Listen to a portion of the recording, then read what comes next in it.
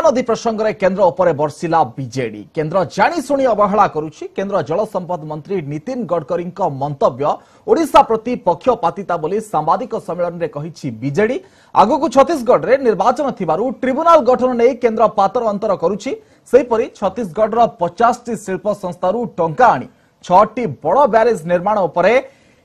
ଏମ୍ଇଏଫ୍ ପ୍ରଶ୍ନ ଉଠାଇଥିବା କହିଛି ଦଳ ওড়িশা তথ্য দেউনথিবা নেই কেন্দ্র বারম্বার যে অভিযোগ করুছি তাহা অমূলক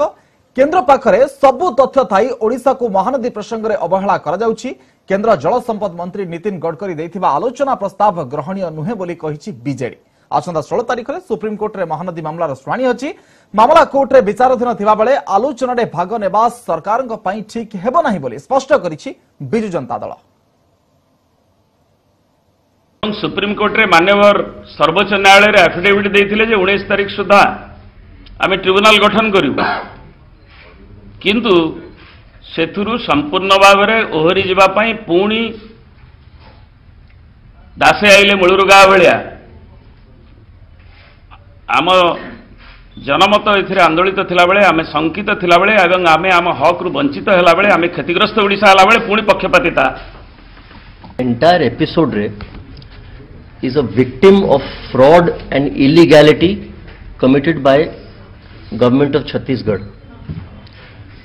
ये कथा मु कहूनी केन्द्र सरकार दुईटी विभाग गोटे है जल संपद विभाग वाटर रिसोर्सेस मिनिस्ट्री राज्यसभा एवं लोकसभा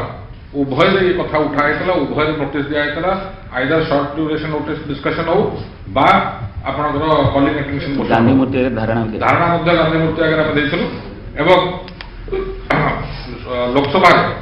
କଲିଂ ଆଟ୍ରିବ୍ୟୁସନ୍କୁ ରିଜେକ୍ଟ କରିଦିଆଗଲା ରାଜ୍ୟସଭାରେ ତାକୁ ଗ୍ରହଣ କରାଗଲା ଏବଂ ଯେଉଁଦିନ ଏଟା ଡିସ୍କସନ୍ ହେବା କଥା